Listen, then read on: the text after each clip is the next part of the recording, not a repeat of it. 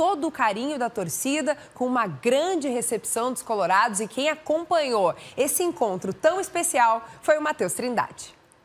Renato Portaluppi, ele perdeu o lateral é, Reinaldo, lateral esquerdo, que teve uma lesão confirmada. Foram diagnosticados aí dois problemas no joelho direito do jogador: um estiramento do ligamento cruzado e uma ruptura parcial do ligamento colateral. O Grêmio não divulgou quanto tempo o atleta vai precisar ficar fora dos gramados. E a necessidade de uma cirurgia também não foi descartada pode ser um grande problema. A equipe, aliás, quando enfrentar o Brasil de Pelotas no domingo, ele já entrou também, já teve os primeiros minutos em campo. A gente vai aguardar para ver como vai se sair o Mike, já que o Reinaldo vai precisar ficar alguns dias aí em tratamento. Ainda segue falando um pouquinho de atacantes por aqui, porque o Inter anunciou a rescisão